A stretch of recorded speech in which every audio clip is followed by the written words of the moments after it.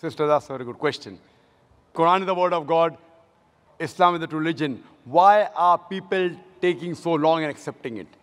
Sister, the straight path is not always easy to follow. Your perception differs. The perception of each individual differs. For example, a person who may not be following Islam, oh, if I accept Islam, he may be an alcoholic. I'll have to stop having alcohol. I may have to stop going out with girls and dating. So then that will prevent him. So what he thinks, okay, fine, Islam may be good, but I don't want to stop my alcohol. I don't want to stop going out flirting with girls. I don't want to stop having pork. So when you learn, there may be certain hitches that may come.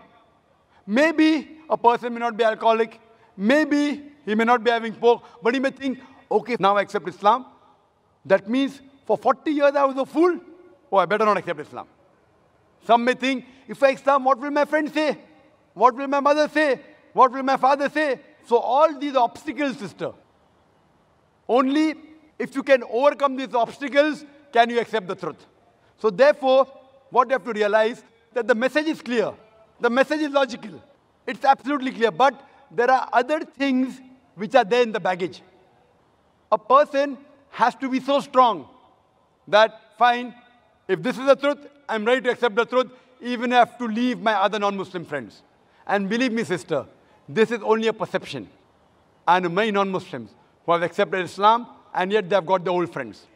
And people tell me, oh, Zakir, don't speak to non-Muslim, you lose the friendship. I've got very good non-Muslim friends also.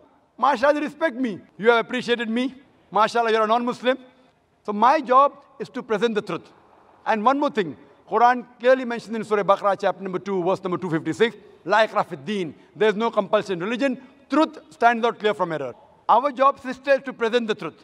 Whether a person accepts it or not, it depends upon him. If Almighty God wanted everyone to accept, it's very easy. It's mentioned in the Quran in Surah Yunus, chapter number 10, verse number 99. If he wanted, he could have made all the human beings believers. Very easy. Kun fayakun, very easy. But where is the test? Allah says in the Quran, in Surah Mulk, chapter number 67, verse number 2, Allazi khalaqal mawta wal hayata. It's Allah who has created death and life to test which of you is good in deeds.